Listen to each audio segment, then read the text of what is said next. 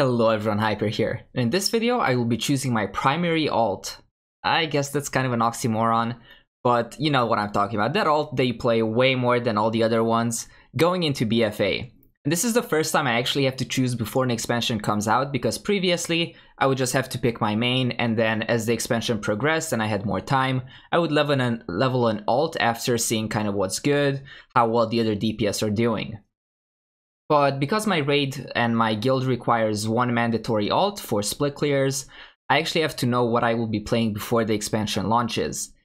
Keep in mind that this is the first time I'm recording one of these choose a class videos, so I wasn't exactly sure how to format it, but I will walk you through basically the criteria of how I'm choosing this class that I will be choosing, what the important topics are, where a class has to exceed, and also I'm picking a class. I'm not picking a specific spec because obviously if a spec is underperforming as a high-end mythic raider, um, I can't exactly play it.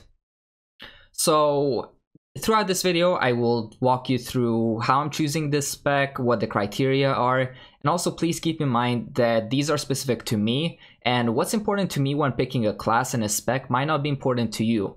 So if you're kind of going through this the same as I am and trying to pick a main or an alt, some of these categories might be different for you.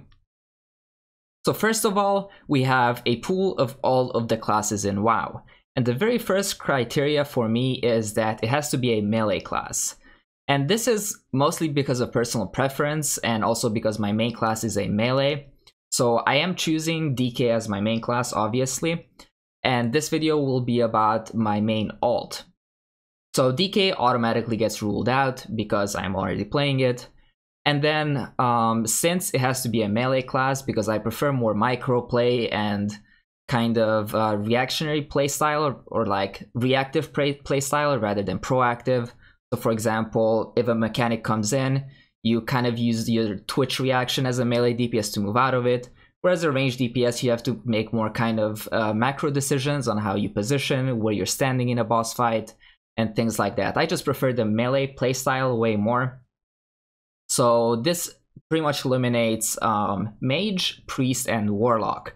I have played Mage in the past quite a bit. Uh, I played it in WoD and I played it in Legion. And in Legion, it was actually my main alt for a while. Uh, Priest, Shadow Priest in particular, I haven't really had too much experience on it. And only played it a few hours total, probably. And then same with Warlock. It, those two were just not a class that I really played in the past. And was really looking forward to playing in this next expansion. So this leaves us with all of these melee DPS that we see on the screen. So my second criteria is that any DPS spec or any DPS class that I choose has to have at least two DPS specs. And this is very important to me because as a Mythic Raider, especially early on in an expansion, you are not exactly sure how tuning will turn out. Something might be undertuned, other things might be overtuned.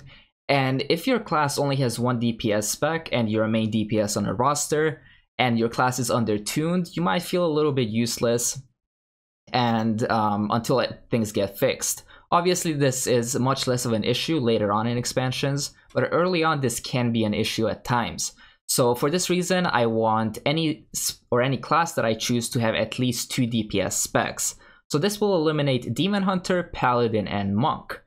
Demon Hunter is actually was going to be one of my top choices if this wasn't a criteria for me. Because Vengeance Demon Hunter is extremely good in Mythic Plus, and I love doing Mythic Plus, especially tanking Mythic Plus. Um, so taking Vengeance Demon Hunter and kind of having it as my alt would have been pretty nice, but I just can't take that risk of Havoc being undertuned and not performing in raids. Then Retribution Paladin. I actually made Holy Paladin for quite a while, and I played Ret in this time in Arena. Um, so I have some experience on Paladin in general. I never really played Prot, and it is decent in Mythic Plus, but it is definitely not one of the high-end tanks.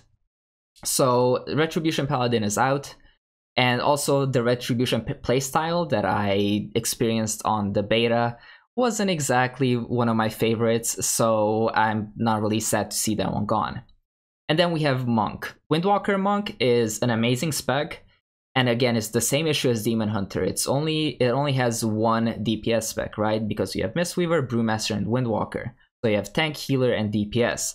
So if you're someone who's looking for a hybrid class that has all three, Windwalker or Monk, I mean, is probably one of the top choices because Windwalker is extremely fun to play. Brewmaster has been pretty good in raids, especially. Um, in Mythic Plus, it's a little bit lower, but in raids, historically has been very, very good. And then Mistweaver was a little bit spotty during Legion, but hopefully get, that gets fixed in BFA. My third criteria for choosing an alt is the class's history in raiding and in Mythic Plus. This just means how they performed in the past tiers and past expansions, as well as how meta they were at the time. So we're left with Druid, Warrior, Rogue, and Shaman. And out of these, Druid, especially Feral, which I'm looking at, and Shaman uh, is enhancement, have not really been meta classes. And when I say this, I mean that they've had their time to shine and they definitely did good damage at times. For example, we can look at Enhancement Shamans in Antorus. Very, very good damage. Uh, probably one of the top classes for single target. And Feral Druid just hasn't really had its time, especially in Legion and late WoD when I started playing again. And I feel like this is mainly because a lack of utility. Um, so for a class to become meta, such as warrior or rogue that we have here, there have to be certain things that kind of add together and make this class good. You have to have good utility, good damage, good options for talents, for example, and a good rotation. These are kind of the main categories that I can think of. So for Feral, Feral Druid, it hasn't really been um, a meta pick at the high-end raiding level in quite a while. And none of the changes that I've seen in BFA and on the beta suggest that it will become one. So for this reason, Feral Druid is out for me. Enhancement Shaman, uh, they had recent changes that make it pretty good. But honestly, um, I never heal, so Resto would kind of be a dead spec for me. And Elemental, I never really played in the past, and when I, when I did try it, I didn't really like the playstyle. And again, it, it is a ranged uh, spec, which is probably the the more major reason why I don't like it. But Elemental Shaman just didn't really do it for me, and enhancement in Mythic Plus has never really been all that great, mainly because they they don't have an immunity or some huge DR, and also the AoE damage is pretty lackluster. They do more targeted damage and priority damage rather than just AoE and cleave damage.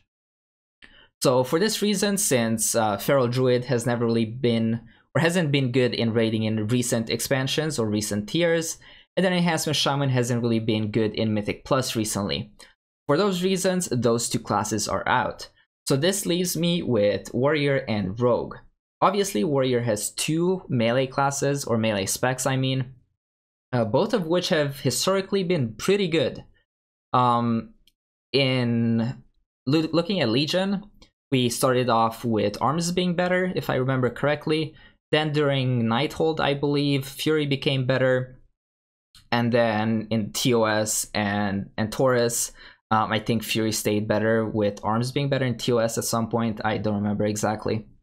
Um, and then Rogue obviously went through kind of a similar roller coaster with I'm trying to remember here. Outlaw, I think, was good in Nighthold. I have I wasn't playing my Rogue yet, then, or in Emerald Nightmare, I think Outlaw was better. Then in Nighthold, we we saw Sub become better. Same in TOS. And then in Antorus, Assassination was better. So one of the classes was always meta, or one of the specs was always meta.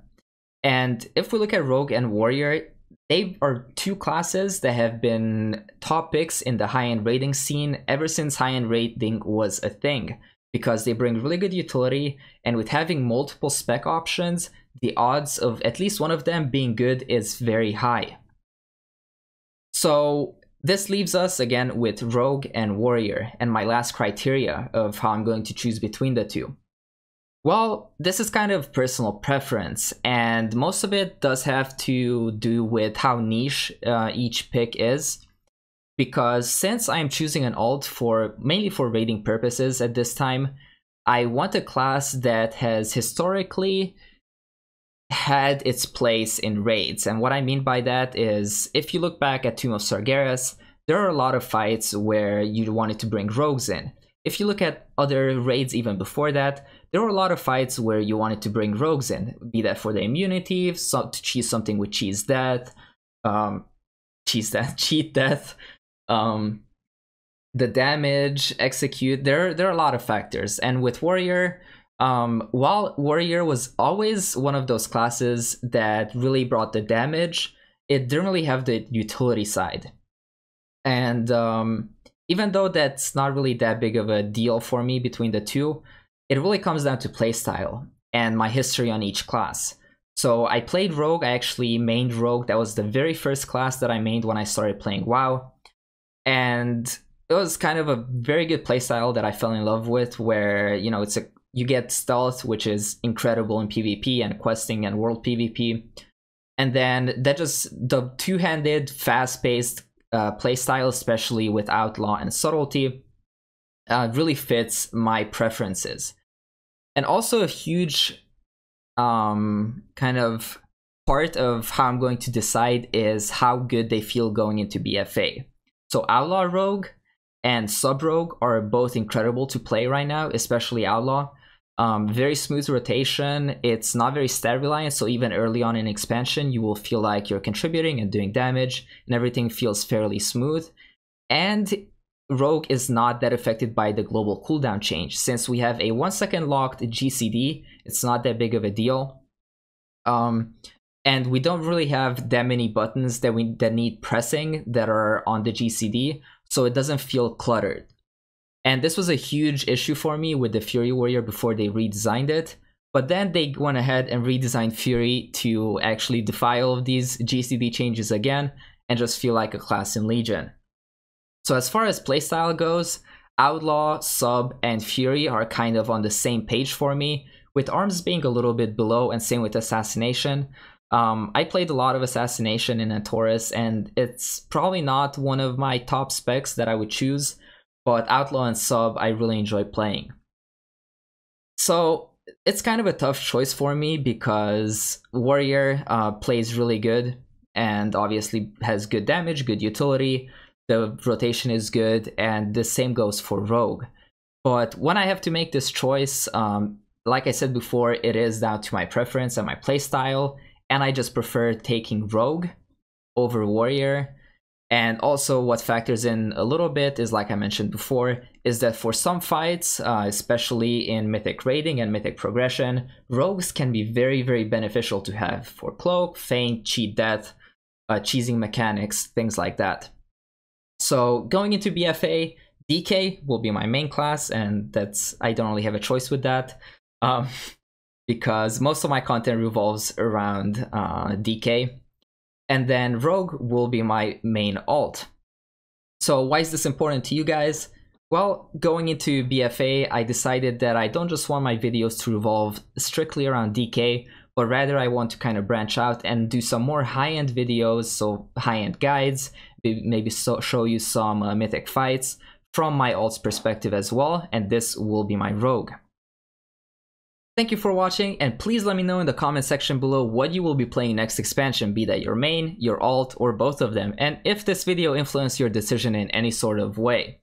As always, if you enjoyed the video, please hit the like button and sub to the channel, and if you want to support it directly, then you can check out my Patreon, which is linked in the description box. Again, thank you for watching, and I will see you on the next one.